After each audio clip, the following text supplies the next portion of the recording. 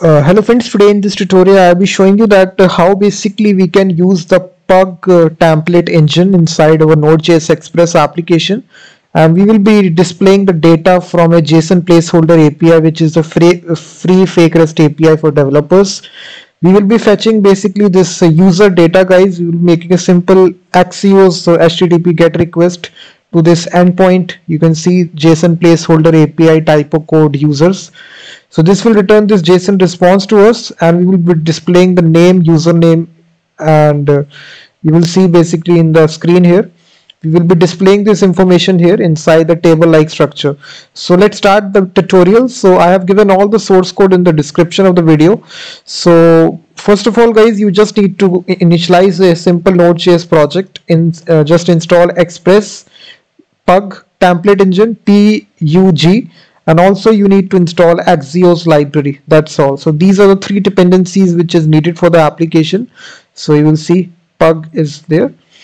So now guys uh, we will first of all initialize the express application.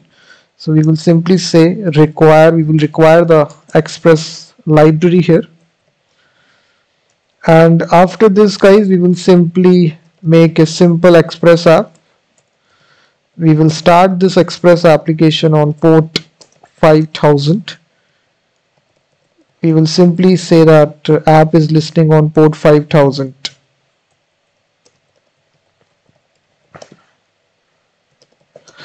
so now guys we need to import the pug library pug so we just need to require it right here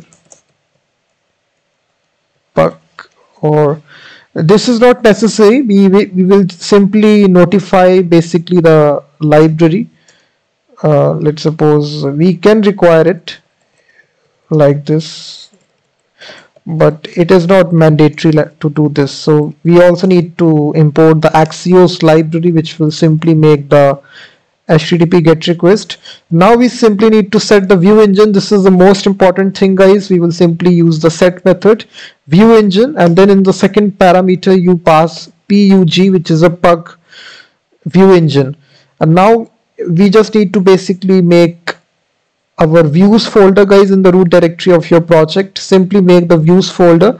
Inside this you just need to make index.pug which is extension of this template engine so now if you reload the application we need to now make a simple get request to the home route. So when the user opens the home page we just need to basically fetch the data. So we will this will be a async function. So we will simply say res request response. And here we will fetch the data. And here we will make basically a get call to the URL that we provide here which is uh, https uh, JSON placeholder typicode dot com slash users. So this will basically get the users data and now we simply need to transfer this information to the template that we will create which is index. And uh, here we will pass the users data users and this will be equal to data that's all. So we are passing this template to the index.pug file. So we just need to basically now display this information in a table. So here you will simply have this this is the syntax of pug template engine guys table. This is very simple table and then we have the table head tag. And then we have basically the table row after this we will have basically table heading and this will be three headings will be there. Uh, sorry four. Name username and then basically the email address. You can see basically this is the indentation that you need to make sure that you have this inside the pug template engine and then we will display the city name. So now we just need to have the table body so table body it is similar to python which also allows you to write code inside indentation. So you just need to maintain some some kind of indentation as well. So we will make use of each loop here. We will have each user in users. This is basically and then basically we will have table row and then we will have table data. And we will display the information user dot name. So this in this way you can embed variables which is uh, td is equal to. So if you write like this then it will cause problems. So it needs to doesn't have to be containing any sort of spaces.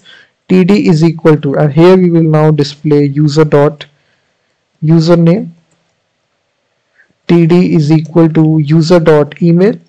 And the fourth one is td is equal to user dot email. That's all. And sorry we need to have td dot address dot city in order to print out the city name. That's all. So now if you reload the application guys nodemon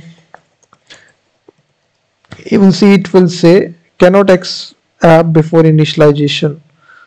Okay i think yeah. We just need to move this right above. So now if you see if I open localhost 5000 you will see the information will be displayed here. You will see that? The information is displayed guys. You will see name username email city and we are using the pug template engine. And if you have just make any sort of mistake here.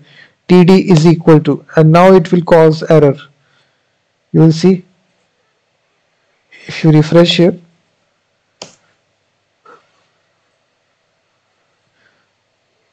Your name will not be displayed. Is equal to will come here. So you just need to make sure that it doesn't contain spaces. And now you will see that name will be displayed.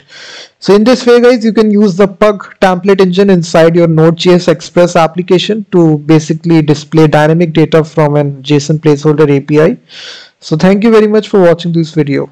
And all the source code is given in the description of the video